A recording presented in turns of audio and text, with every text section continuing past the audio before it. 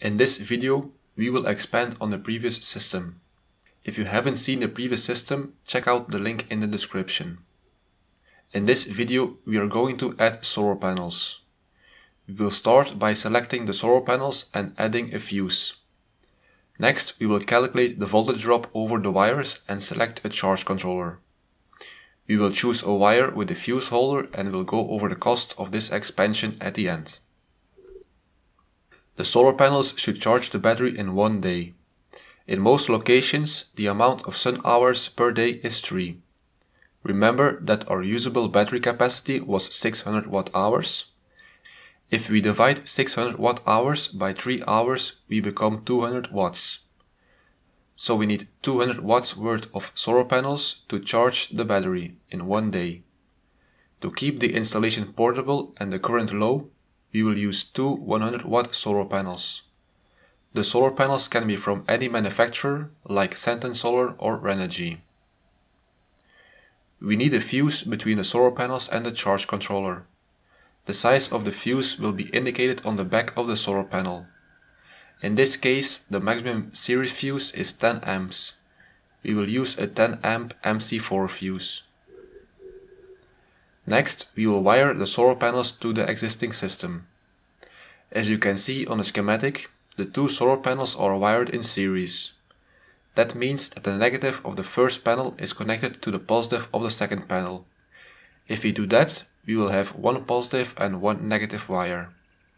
After we have attached the 10 amp MC4 fuse, we can put both ends into the charge controller.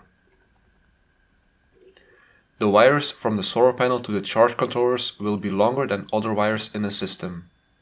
That's why we need to do a voltage drop calculation. I have made a video about why we must do this. We will multiply the open circuit voltage of the solar panel by 2, because we have two panels in series. This adds up the voltage. Check out my video about wiring in series or parallel for more information on why we wire in series. We now become 42.6 volts. The current stays the same at 5.93 amps. Now we have everything we need to calculate the voltage drop, except the distance to the charge controller. I will calculate two wire lengths, one 25 feet and one 40 feet. As a rule, you must keep the total voltage drop under 3%. In example 1, we need a 16 gauge wire.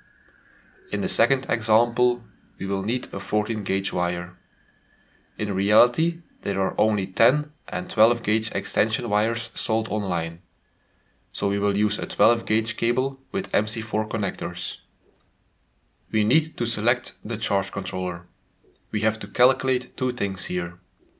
The first is the current to the battery and the second is a maximum input voltage of the charge controller. If we divide 200 watts of solar by 13 volts charging voltage, we become 15.4 amps. We must multiply this by a safety factor of 1.25 to become 19.25 amps. We can use a 20 amp charge controller. The total voltage of the two panels is 42.6 volts. We also have to multiply this by a safety factor of 1.25 to become 53.25 volts. This is under 100 volts. Combining these two values, we can select a charge controller that is 20 amps with a maximum input voltage of 100 volts. Lastly, we must select the wire from the charge controller to the battery. The charge controller will put a maximum of 20 amps into the battery so we need a wire that can handle 20 amps. To calculate the minimum fuse size, we have to calculate the current that goes through the wire, which is 20 amps. We multiply that by the 1.25 safety factor to become 25 amps. The wire can be 12 gauge, but since there is no 25 amp fuse, we have to use a 10 gauge wire. The maximum fuse for a 10 gauge cable is 35 amps. Now we need to choose a fuse that is in between these two. We will use a 30 amp fuse. The maximum length will be 6 feet. Keep this distance as short as possible.